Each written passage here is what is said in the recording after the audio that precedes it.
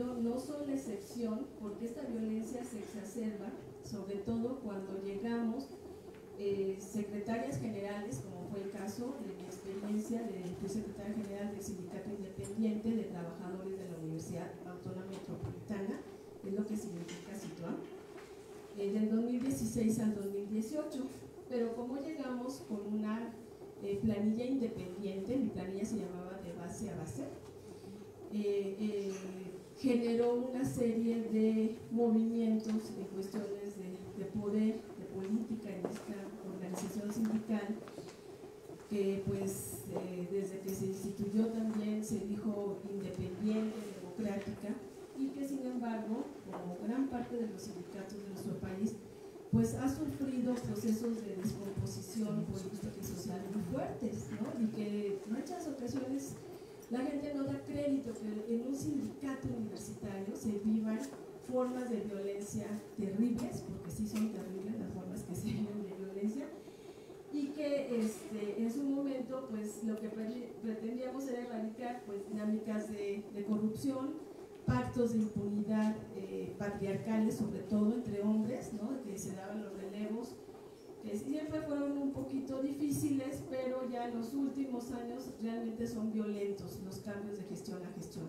Las gestiones en el sitio duran dos años y cada dos años tiembla el sindicato porque hay una crisis muy fuerte y particularmente contra eh, las mujeres, eh, un ejercicio de violencia y de, sometimiento muy, muy fuerte, de sometimiento, ¿no?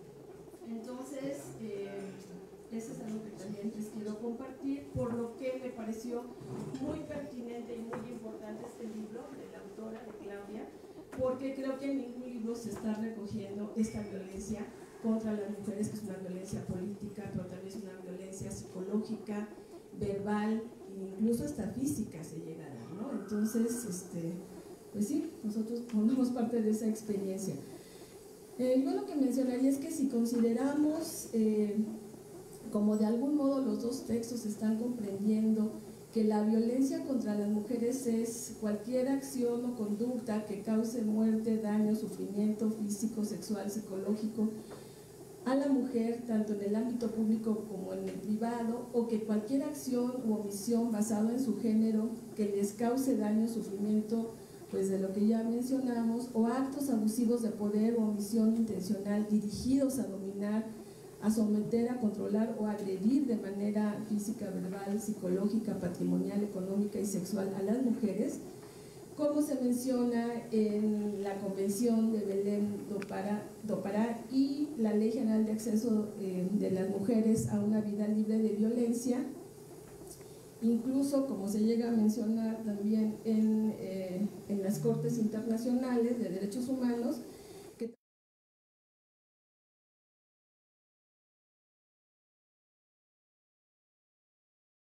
capacidades y posibilidades de hacer un buen trabajo o ganar una elección o toda violencia que tiene como objeto menoscabar o anular los derechos políticos electorales, incluyendo el ejercicio del cargo o que se encamina a promover la renuncia al cargo o función que ejerce o postula la mujer, objeto de esa violencia. Bueno, si nosotros consideramos todo eso... Y por cierto, yo creo que la Perdón, perdón, perdón, perdón, Si nosotros consideramos todo eso, pues yo nada más quisiera que escucháramos este audio. Este, se ofrece una disculpa de antemano por las palabras altisonantes que van a escuchar y se pide tolerancia al respecto en la medida en que esas expresiones constituyen un testimonio de los actos de violencia hacia una secretaria general.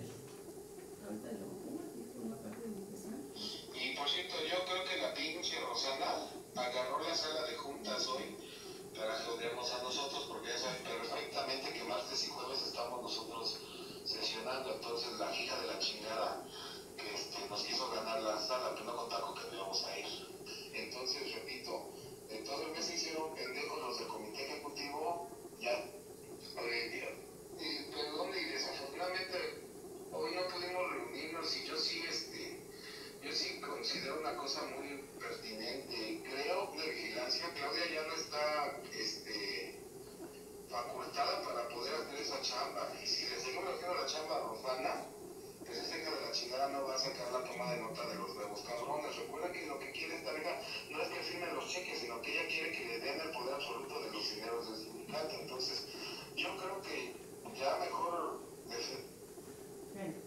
59 segundos nada más es. El, audio dura más de 20 minutos eh, con una serie de descalificaciones en ese tono en general.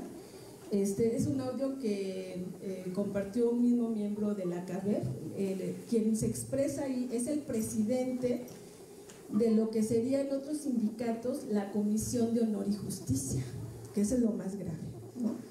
En el caso del sindicato del CITUAM se llama CABEF, que es Comisión de Evaluación, Vigilancia y Fiscalización y demás. Él es el presidente de esa comisión, que todo el tiempo estuvo actuando en mi gestión de dos años y que eh, fue promotor, justamente como ustedes lo escuchan, el audio es mucho más largo, de discursos de odio, de eh, promoción de la desconfianza, de adjudicación y en ese sentido pues eh, difamaciones respecto a cuál era el propósito de estar uno ahí y que tenía que ver con lo que ya mencionamos al principio, ¿no? erradicar la corrupción, terminar con los pactos de impunidad patriarcales, o sea, una serie de cuestiones que nosotros planteamos en, en ese y que en ese sentido recoge un testimonio un poquito más este, fuerte y vivido de lo que es la violencia en, en un sindicato universitario, quiero hacer el hincapié, porque no es cualquier sindicato, ¿no?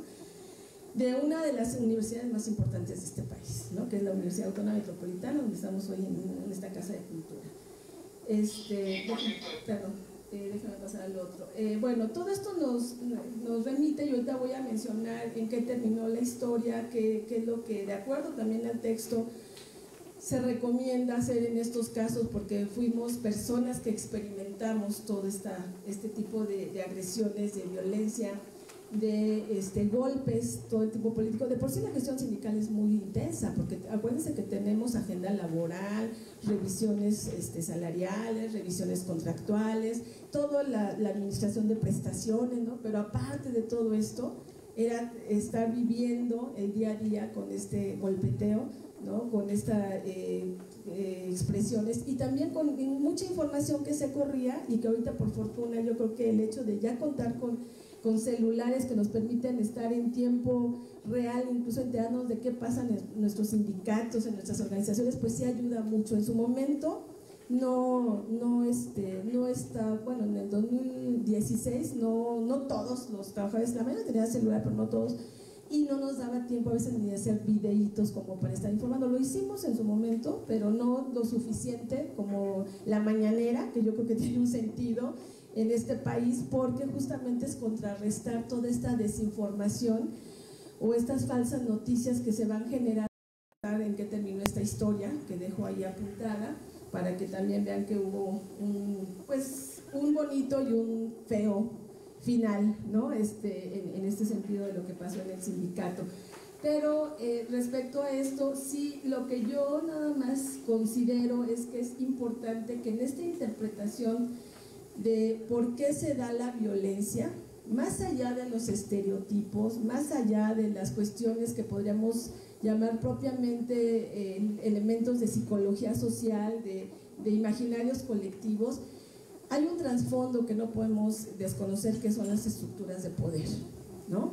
Tanto en los sindicatos como en general en los gobiernos y en este país en general, ¿no? Porque eh, creo que a partir de una lectura, eh, ya eso, lo que me, eso es en gran medida lo que me permitió sobrevivir en el sindicato, de una lectura política y sociológica, yo entendía muy bien que los golpes no eran hacia Rosana en particular, era hacia la mujer que estaba al frente del sindicato que estaba moviendo todas las dinámicas de corrupción que se estaban dando en el sindicato, ¿no? y que se estaban ordenando una serie de cuestiones fundamentales como es la administración de plazas de trabajadores administrativos, como son las cuotas sindicales que se administran en un sindicato, como son también las prestaciones que se administran vía contrato colectivo, los dineros que llegan tanto del erario público, ¿no? porque son presupuestos del PEF, del presupuesto de la federación, que llegan también vía prestaciones al, sindicato, y eso es lo que estaba detrás. Eh, creo que todo ese tipo de, interpretaciones más, más sociológicas, más políticas, nos permiten en su momento entender por qué se da la violencia contra la mujer. Creo que la mujer, en este caso, les representa gran parte de los eh, sindicalistas eh, como una especie de eslabón débil, que no lo somos, creo, en el fondo, para nada, pero este, por eso sí hay una especie de ensañamiento contra la mujer. ¿no? si, si, ven del otro lado a un hombre igual que ellos, como que le miden un poquito, ¿no? pero si ven a una mujer, este, creo que son particularmente rudos. ¿no? Entonces, eh, ¿Qué me permitió? Les decía, y que lo, retomo también, le digo, bueno, sí entender que hay estereotipos, se, dieron muchos estereotipos porque se dan muchas clases de difamaciones, ¿no? Este, es mujer, este, no tiene hijos, eh, es atea, este, o sea, todo eso cuenta según para, para ellos, ¿no? Entonces, este, eh, vive, por en ese momento, ¿no? Vive sola, o sea, todo eso se van generando estereotipos muy, muy hijos, donde no nos ven como mujeres profesionistas que elegimos no tener hijos, que elegimos nuestra religión o no religión, que elegimos una serie de cuestiones, ¿no? Entonces, eh, sí fue muy importante, pues, eh, hacer una lectura, sí, de la psicología social, pero también de la eh, sociología y, y, la, este, en este sentido, de la política, a mí me sirvieron muchos, muchos autores como, como Carlos Marx, Gramsci, ¿no? este, Althusser en su momento para entender qué estaba pasando ahí, ¿no? Porque si nos revictimizan, me decían algunos compañeros, oye, ¿qué tienes? Que los has puesto así, ¿no? ¿Qué, qué, qué, Y no, insisto, no era, era, era lo que significaba estar eh, representados por una mujer, pero los trabajadores así votaron, ¿no? Ganamos las elecciones nos reconocieron, pero siempre nos quieren de alguna manera este, inmovilizar, ¿no? que renunciemos. De hecho, se hizo un congreso en el que hubo toda una organización para que en su momento este, fuéramos destituidos. Por fortuna los delegados, después de un análisis, de darles datos, información, ya de cara a cara, ¿no? directa, votaron que no nos iban a destituir, ¿no? pero había toda una organización al respecto. Entonces yo creo que hay que hacer una lectura sociológica, que es lo que me parece que habría que este, avanzar en, estos textos, ¿no? este, cuestionar la normalización eh, con los eh, mecanismos que les refiero respecto a, eh, bueno, de hecho intentaron pasar nuestro sindicato, tomar acciones contundentes como denunciar todo esto. Yo traigo ahí una carpetita con toda una serie de denuncias que se hicieron ante las distintas instancias, ¿no? con APRED, con la Comisión Nacional de Derechos Humanos, o sea, todo lo, que veíamos como actos de corrupción, ¿no? por ejemplo, no querer dar facturas de, los, de las compras de juguetes para Reyes, ¿no? para el Día de los Reyes, todo esto se tuvo que denunciar porque era dinero público y no nos podíamos prestar a esta, a esta simulación y a esta dinámica donde no se justifican y donde sí hay una serie de bribones en los sindicatos, lamentablemente, que ya están muy adaptados al nuevo operandi, donde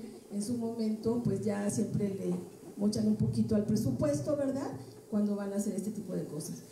Entonces, creo que también es importante compartir la experiencia, como se hace aquí en algunas eh, menciones que se dan eh, una serie de testimonios por parte de las trabajadoras. Y también, eh, pues sí, cuidar mucho la salud mental, física, los valores, los principios, las metas que tenemos como representantes en un sindicato, como profesionistas y como que de alguna manera, pues con todos los testimonios que aquí se dan, se muestra que es lo que finalmente permite que la mujer resista en estos espacios, ¿no?